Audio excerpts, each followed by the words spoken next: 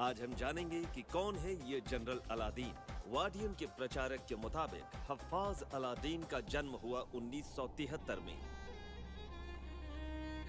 इसकी माँ की जानकारी नहीं है क्योंकि वो इसके जन्म के वक्त गुजर गई थी सनकी और अपार तेल संपत्ति के मालिक ने हाल ही में अपना खुद का ओलंपिक गेम्स करवाया On your mark. Get set.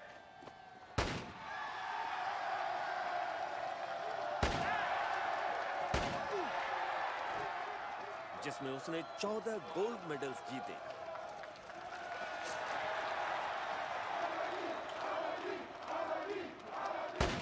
जाहिल माने जाने वाले इस शासक ने 300 शब्दों को बदलकर अलादीन नाम रखा क्योंकि पॉजिटिव और नेगेटिव शब्द काफ़ी कंफ्यूजन पैदा कर रहे थे। बताइए आप क्या पढ़ते हैं? अलादीन न्यूज़ या फिर Aladdin news?